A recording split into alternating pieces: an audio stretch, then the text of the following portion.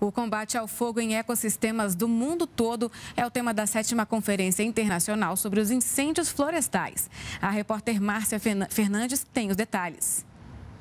O encontro começa hoje aqui em Campo Grande, no Mato Grosso do Sul, e reúne pesquisadores de 41 países, além de empresários e representantes do governo federal, como o IBAMA e a FUNAI, e os brigadistas que lidam no dia a dia com fogo nas matas. A principal discussão desse encontro, dessa conferência que ocorre aqui em Campo Grande, é sobre como pode ser feito o manejo do fogo de uma forma controlada para evitar que os incêndios afetem as populações e os ecossistemas. Um outro tema debatido aqui é a poluição poluição, como a poluição, a fumaça da poluição pode afetar a saúde humana. O presidente do IBAMA, Eduardo Fortunado Bim, ressaltou a importância do Brasil sede a esse evento que acontece pela primeira vez na América Latina. Essa troca de experiências que o evento possibilita com os outros 41 países presentes é o que traz aí a, a nossa força em termos de, de conhecimento e agregar boas práticas que aumentem a eficácia no combate aos incêndios florestais.